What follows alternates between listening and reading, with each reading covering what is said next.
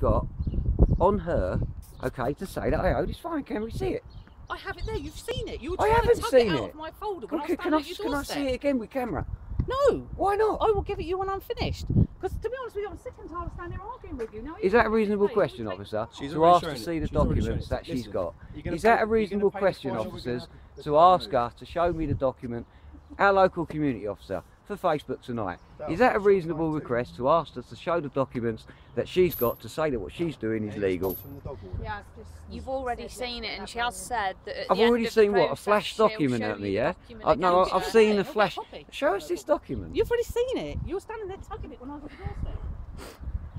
Are you recover- are you having a vehicle? Going to pay, then yes. Yeah, I think we we- need to get that rolling. That's what, I- yeah, Yeah. you know, that's the thing. Well, no, I've said I'm going to He's been pay. given ample Well, go opportunity the money to then, pay. pay. How can I? I've got no motor. Well, you'll have to walk, or get a bus, or get a taxi.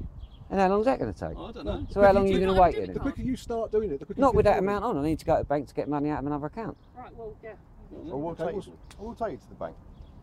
Yeah, I'll that's give you a cool. lift at the bank. Yeah, that's cool. You go and get the money, come back, you pay these ladies, and they'll unclamp the vehicle. Yeah, that's fine. And then you're still saying You'll it's not reasonable to see the documents she had before It's I gonna pay have this to be- Apparently, it's if you've gonna- not seen them, It's going to have was to be cash wasn't though. And what kind of clamps that then? That's Milton Keynes don't use them, do they? They're No idea. Well, Well, I've already got you a- an order It's, against Milton Keynes Bailiffs, didn't I? £307.04p, and 307, plus change, 43 right? So it's in cash.